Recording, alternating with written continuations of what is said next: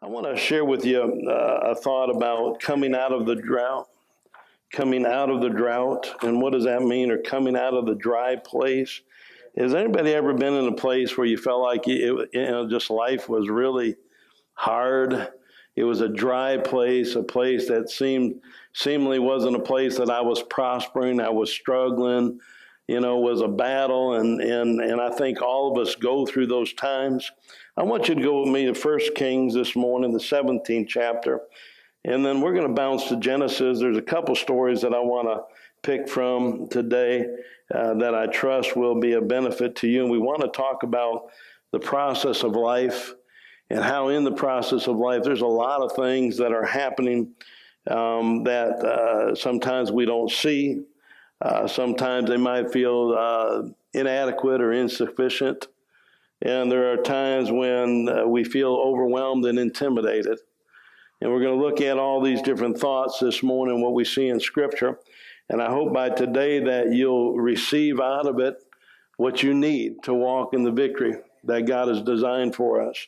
But let's look, if we could, 1 Kings, the 17th chapter, just verse 1. Now Elijah, who was from Tishbe in Gilead, told King Ahab, As surely as the Lord God of Israel lives, the God I serve, there will be no dew or rain during these next few years until I, Elijah, gives the word. Now, obviously, the word wasn't Elijah's word, it was God's word to Elijah, and Elijah gave it to the people.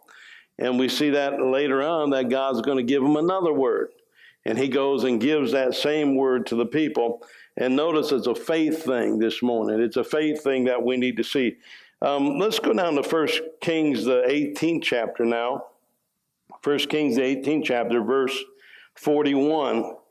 And Elijah said to Ahab, Go up and eat and drink, for there is a sound of an abundance of rain. Now, wait a minute. We hadn't even seen a cloud yet. And the prophet's saying there's an abundance of rain. Well, the reason why he can say that, let's go back to verse 1 of that same chapter. I'm going to bounce you back and forth a little. The 18th chapter, verse 1. Now it came to pass after many days that the word of the Lord came to Elijah in the third year, saying, Go present yourself to Ahab, and I will send rain on the earth. Okay, so the reason why Ahab, or Elijah is saying to, to um, Ahab at this time that I see an abundance of rain. Amen. And I hear an abundance of rain and I feel like it's going to rain is because I know God gave me a word. Okay? And I want to I want to help us today understand this. So let's just read a little further. Go back to verse 41 again. And Elijah said to Ahab, Go eat and drink, for there is a sound of an abundance of rain. And Ahab went up to eat and drink. And Elijah went up to the top Carmel of Carmel and then he bowed down on the ground and put his face between his knees and said to his servant, now he's talking to he's talking to Gehazi, which is the servant of God, that he, he says, Go up now and look toward the sea. So he went up and looked and said, There's nothing. You ever been in those places where it seems like there's nothing? And seven times he said, Go again. And it came to pass in the seventh time that he said, There is a cloud as small as a hand, uh, as a man's hand rising out of the sea. So he said, Go say to Ahab, prepare your chariots and go down before the rain stops you. In other words, man, now that, again, the man of God already knew it was there. But the man of God prayed until he saw the results of what he needed and then he left from there. And the Bible says that you go on further and you see where he runs ahead of the chariots. Father, please bless the reading of your word now. Please help me with my thoughts. God, I, I need them to be clear right now. No, no, no cl- uh, clutter in my thinking, no clutter in my words. Let it be very clear and concise.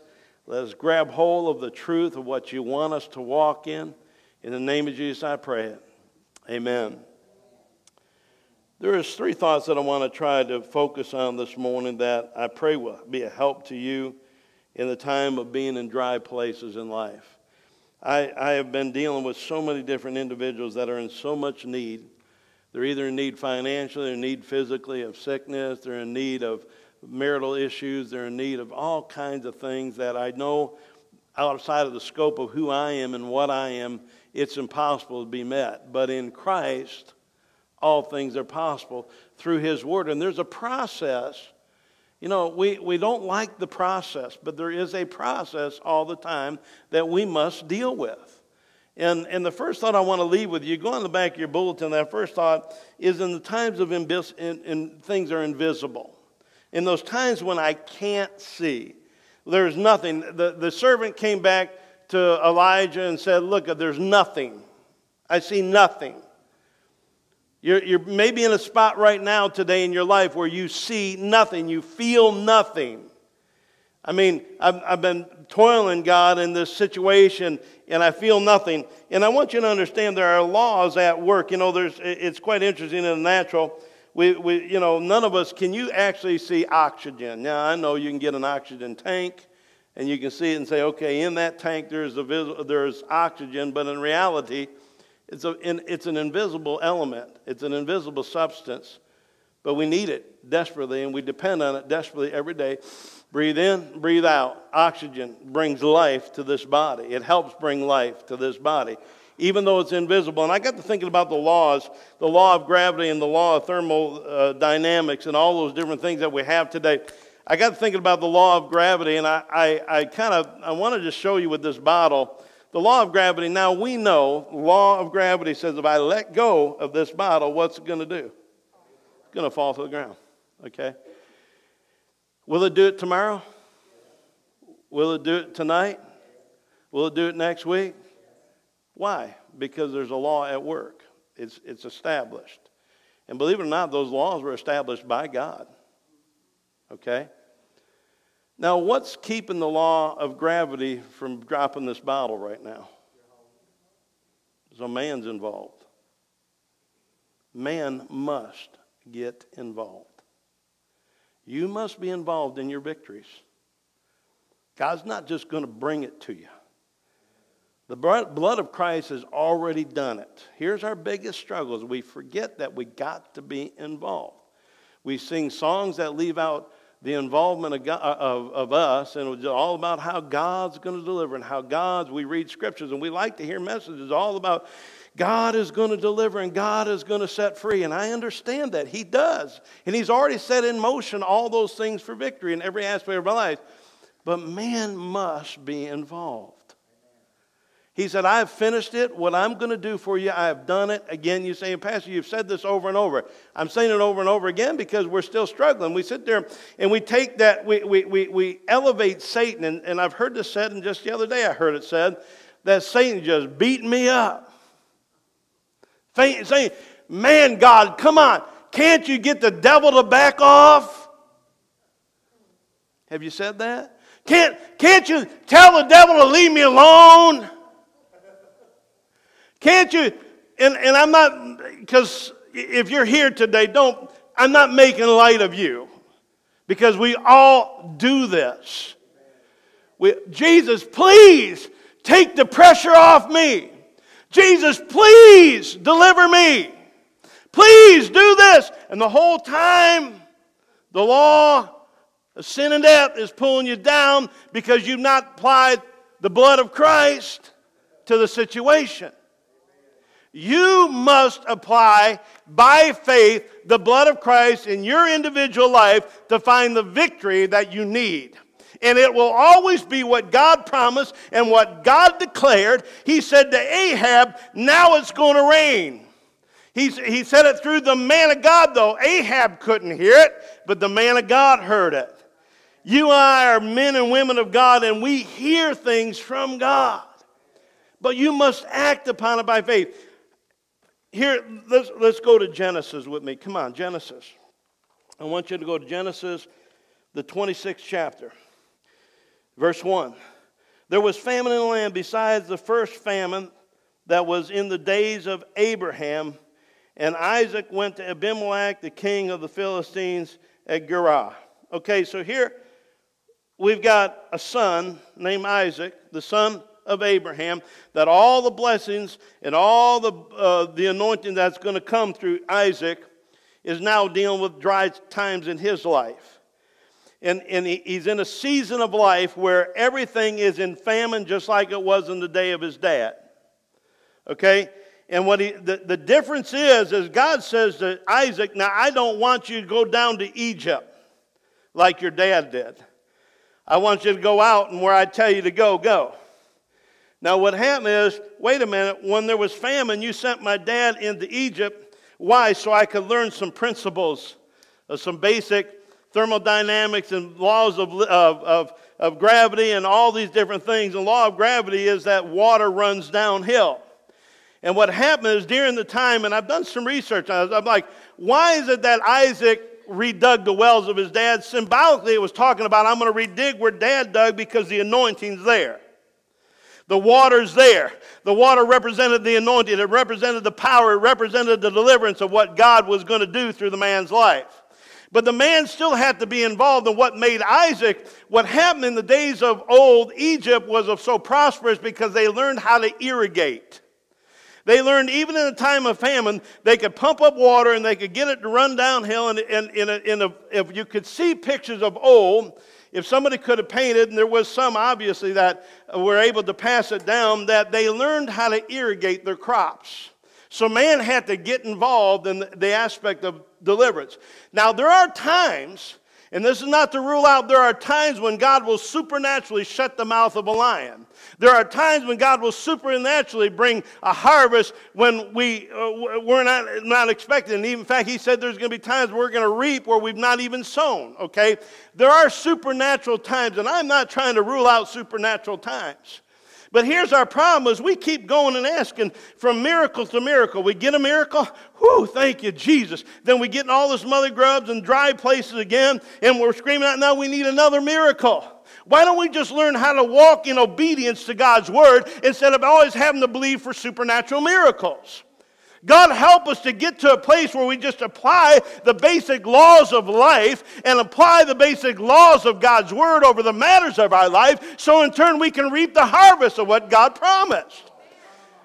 Who's going to reap a harvest? Who's going to fill up this building? Are we going to just keep praying that God send them in? Yes, I'm going to keep praying. God send them in and He's going to supernaturally bring some in. But if we don't get involved in harvesting, this law is in every aspect of our life. And the only way that we're going to keep it from falling, the only way that I'm going to keep sickness and sin and everything else out of my life is when I get involved in applying God's word to it. I apply God's thoughts and His word, and I do it His way. His will be done in my life. There are plenty of scriptures that support this, and many of you are already receiving them. Hebrews 1 11 1 says, Now faith is the substance of things hoped for and the evidence of things not seen. The invisible. The invisible, the things I can't see, thermodynamics. You know, you ever been in a house and you, you, you go to buy a house and it's an empty house and you notice that the carpet's all wrinkled? Thermodynamics. People don't think about it. I'm just give you some basic things that I know all of us have seen. You, maybe some of you got carpet in your house that's wrinkled up, needs to be restretched. You know why that was? Because they, they, they put that carpet in when it was very cold and it didn't have time to adjust to the, the atmosphere. And so they stretched it in when it was cold and it was contracted. But the moment that thermodynamics, the heat began to hit it, it expanded. And now it expands so much that it's pushing against the walls and has no place to go, so it begins to buckle up. Basic laws. So who's, I could say all day long, wrinkles go away. Wrinkles go away. Wrinkles go away, but sometimes man needs to just get involved in it. Go get a kicker and a stretcher and a knife and stretch it back out. Because what's happening is, folks, God, God has made a way where, where there seems to be no way. Yes, in the supernatural.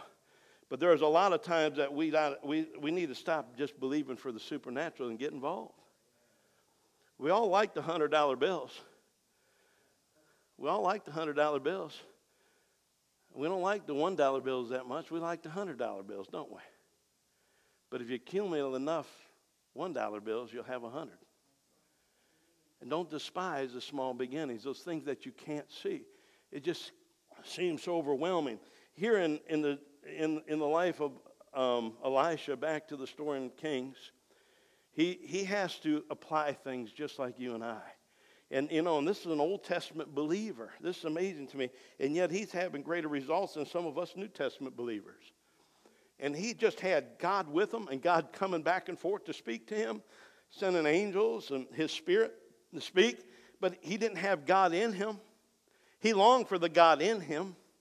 And, and, and yet, here we today, we have God in us all the time. If you're born again, you have God in you.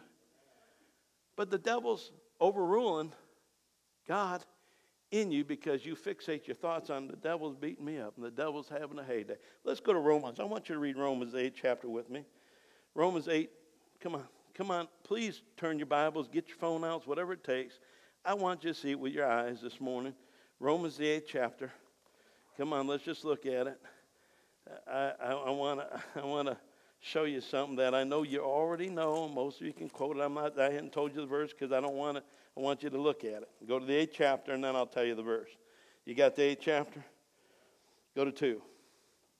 For the law of the Spirit of life in Christ Jesus has made me free from the law of sin and death. So does sin and death have power over you? Only when you give it. You're saying, well, it's the point that man wants to die past. I, we're not going to even debate that, okay? I know that this physical body sometime needs to take unchanged. And I'm not just talking about, let's just throw the healing out right now. If you can't get past that, just throw the healing out of the picture. What about all the other attributes in your life that you're struggling with? What about the, the worry and doubt and the fear and, and all the anxiety that you take on that literally you, you're so anxious in everything that your physical body's getting sick because you're full of anxieties? Come on. What does the Bible say here? If you have Christ in you, apply Christ in you, the Word of God in you, to the matters of your life. Let Him be your focus. Come on. This thing don't have to fall to the ground. It doesn't have to fall to the ground because I'm involved. Now, I can be involved in it and, and keep it until the day it perishes, okay? Or I perish. But the bottom line is, it doesn't have to. The law of sin and death doesn't have no power of attorney over you. And, and that includes every aspect of the decaying death man body, soul, and spirit. I hope we really get a hold of this. The invisibles, the unseens. Elisha, back to Elisha. He knew it was coming, but he hadn't seen it yet either. He, he, he, he just hadn't seen it. But he knew it was there. Again, if you go back to the law of thermodynamics, you'll understand that the, the heat, as the heat rises out and the, the, the moisture rises out of the sea, like we see here in Scripture, he says, I, ha- I see a cloud coming up out of the sea. Thermodynamics involved here, the natural law involved, but God is the has power over the natural law as well as the spiritual law. And here he's using the natural law to rise up a cloud that's going to rain on Ahab beyond measure. It's going to be so powerful. When it comes down, it's going to stop the horses and chariots. It's going to flood out the roads. It's going to pour down like you can't imagine. But yet it's in that insignificant, the next thought this morning is in that small, insignificant state of being where it seems like it's not enough. It seems like we never have enough, Pastor. We're always just getting by. We just never have enough. My bank account just seems to never have enough. Never have enough. Well, in, in the story of, of, of Isaac, if you go back to Genesis, you're going to find the story of Isaac that as he sowed, he, he got a hundredfold. What are you believing for this morning? 30, 60? The Bible says 30, 60, or a hundredfold? I, I, there's times when dramatic times in my life where God was proving some points to me that, son, it's all about you. I'll, I'll never forget it as long as I live. It was too distinct, too perfect, two perfect numbers lined up. I believe God, in, a, in one case in my life, I was struggling with some things, and God told me sow some seeds, so I sowed three offerings. I'll never forget it. My wife will testify of this. We sowed three offerings. You know, we were both struggling, but God said, sow them. And, and God, every time it seemed like just when I went to sow it, He said, Now, what are you going to believe me for? Well, I'm not stupid, God. I, am expecting a hundredfold. I'm expecting a hundredfold. And I'll just be honest with you, my faith was very shaky at the time. I was struggling. I was growing. I was trying to learn this faith walk with God. I was trying to learn what it is to live by faith, and I wasn't seeing it, even though I knew my God was seeing it and God already had it. And, and I, have told you this before, but it's distinctly the, the amount of offerings I gave the next Sunday that I stepped in the pulpit in my church, a church that didn't have rich people, a church that didn't have, uh, there were no more means of you than they are today of you. And, and yet I watched how God distinctly in that Sunday morning, when I didn't even preach about giving, all I preached about is commitment, being committed to the task no matter what God says, we're committed to it, God. And, and I was believing for a hundredfold. It was September of the year. I was believing by December I might see some. I might see some. That's how faith man I was at the time. God rubbed into my nose that very morning. Before I got home, I heard of every, every offering that came in that today was exactly what I believed for. And it was a hundredfold, exactly what I believed for, and it added up to $46,000 in one Sunday morning service and it was just out of a group of people. They didn't. I watched how the Spirit of God just resonated in that place, and they began to weep and cry. Why? Because God and, Donald. No, the God in me flowing out, and the Word of God flowing out, and the Holy Spirit rising up in them. Rivers of living water were beginning to flow, and it flowed out strong. Church, I'm telling you, there are th- times when it'll seem so. My offering seems. Uh, I'm just like God with the mess I got going on, these offerings seem so insignificant. You know, have you ever said this? You know, if somebody say, well, you need some help? Well, I got 50 bucks I can give you. You say, man, 50 bucks won't even scratch it. If you knew the mess I was in, 50 bucks wouldn't even, you know, despising small beginnings. We'd say, come on, God. I don't need 50 bucks. I need 5,000 bucks, you know, or whatever. And, and we despise it. We, this is how we act. We're, we're saying, we're basically saying, we're giving honor to Satan. We honor Satan more than we honor God. Listen to the way you talk. The reason why I know it is because I myself find it my, in my own verb uh, or vocabulary. I find myself at times, I'm, I'm giving honor to the devil because of all the aches and pains and all the problems and all the circumstances I just can't seem to deal with. You will never deal with them in self. Been in all in God, here it is, in God. He's given me the power.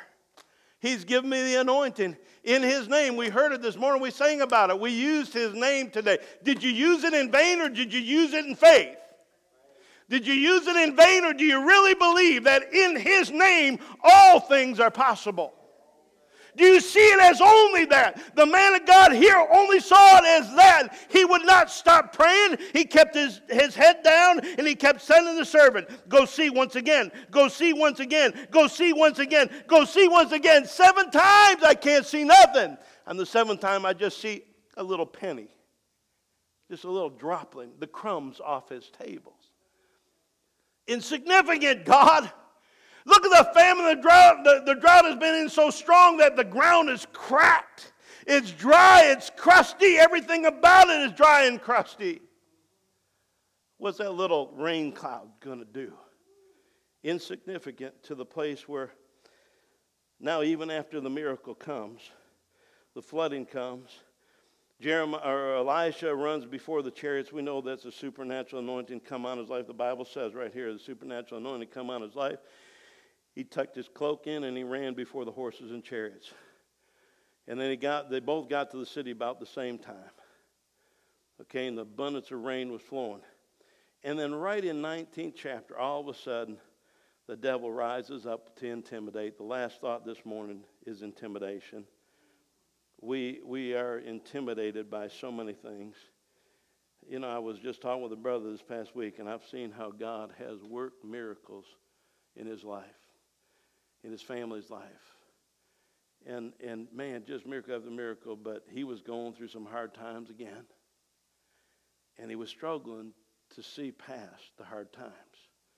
The devil immediately comes to Elisha. Listen to this. And Ahab told Jezebel all that Elijah had done. Now, you got to understand, Elisha, here's why Jezebel's ticked off. Here's why the devil's ticked off.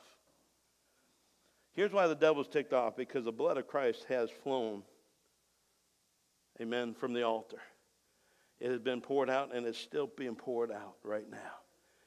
And he knows he has no power of attorney over you, but he wants to try to act like he does. The Bible says he's like a roaring lion.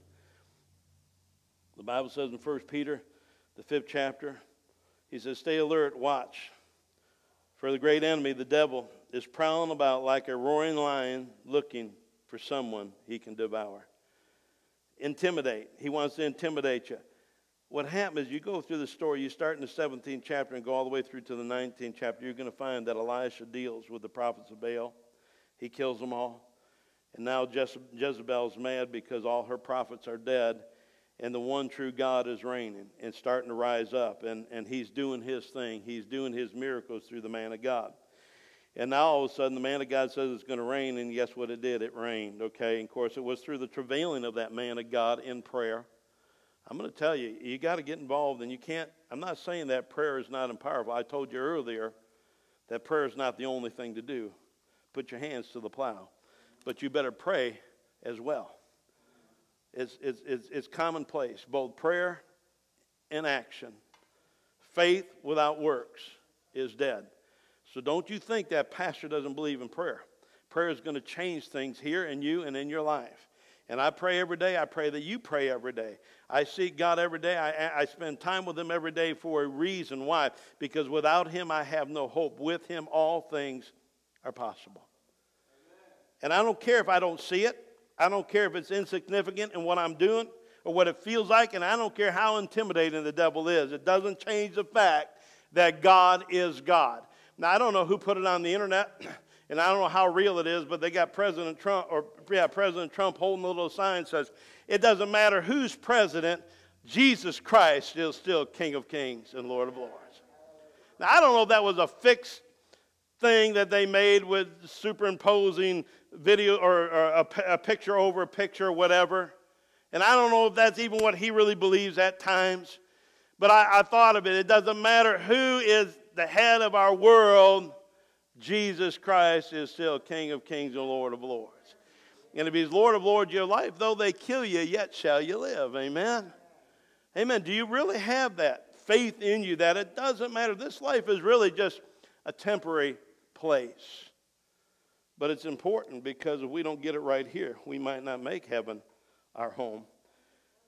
She said, and it says in verse 2 Then Jezebel sent a message to Elijah saying, So let the God do to me, the gods do to me more. Also, if I do not make your life as the life of one of them by tomorrow. And she was talking about the prophets of Baal, okay? About this time. And when he had saw that, he arose and ran for his life. Are you running for your life this morning? Well, stop in the name of Jesus. Stop and make a stand. Stop running. You know, I, I, again, you see all kinds of cool things, and all kinds of cool things come to mind when I read the word I was watching. and if you know anything about, I've been a hunter for years, and I've been out in the woods for years, and if you run across a, a coyote that's on the prowl, he could be a real problem for you. The only thing that you have is you have the power of attorney, you have a gun with you, and you shoot him dead. But I was watching a video of a little girl playing in her backyard, and a coyote come out of the woods. And when she was running from him, he was on the prowl. But the moment she turned around and faced him, he backed off and ran. And I'm telling you, that was a, as a dad that was an intimidating thought for me to my little kid is that in, in harm's way i'd have been out that yard in a minute okay because i know what those dogs can do that dog had every ability to eat her alive but she made she had something in just made her turn around and face the thing and she swung at it and it would run away she'd run back it'd chase her she swung at it again and it would run away come on do you think the devil is really that big and bad that he, he, can, he can overdo and override the power and the blood of Jesus Christ? The problem is we keep running. We keep running instead of standing in the name of Jesus. We keep running to fear. We keep running to all the worries and doubts. We keep running to all these intimidating things that are, we're facing. And yeah, in themselves, they are intimidating. But you're not in self, you're in Christ. Say it with me I'm in Christ. Christ lives in me. Christ lives in me. Get your mind right. Get your mind right. Get your focus. Stop running. There are things you can't see. There are things in life, there is dangers in life we can't see. There are obstacles that are just beyond us in the natural, but they're not if we're in Christ. And this doesn't say, look, if, if it storms today and Pastor Donald goes out in the rain without an umbrella or a rain suit, I'm going to get wet just like anybody else. Okay? Basic laws at work. There's all kinds of laws at work. Even the law of sin and death is still trying to work in our world, but it's been brought powerless through the blood of Christ. And it only has power over who? Those that don't know better or those that give way to it. And as law of sin and death represents everything else in your, in your life. It represents everything, everything that the blood of Christ has come to deal with. And so if you keep giving way to it, it'll fall every time. But if I don't give way to it, it's trying to. But in the name of Jesus, I have the ability. And there might be a time where I'll miss it. Okay? There might be a time where I'll miss it, and guess what? It's going to fall to the ground. And the cap's going to unscrew and pour water all over the place, but I need to drink it. So the anointing's in me. And I'm not going to slosh it back and forth like I was because the cap's gone. I don't know where it went to. The point being, folks, as simple as that illustration was, it really is that simple in God. And you got to stay there. Because you think at one moment, that little girl that swatted at that coyote, you think that one swat drove him away? No, he turned around and come back. He kept coming until she made her stand. And when she made her stand and kept facing him, he finally went back out into the woods. And then she turned around and went back in the house. And I'm telling you, folks, that's how the devil is. The moment you turn, he's going to come again. He's not going to stop coming. But you have the power. You have the anointing. Get your mind clear. By the transforming of your mind, your mind is renewed by the Word of God. That greater is He that really is in me than He that's in this world. Let's stand together. You don't have to see it to believe it.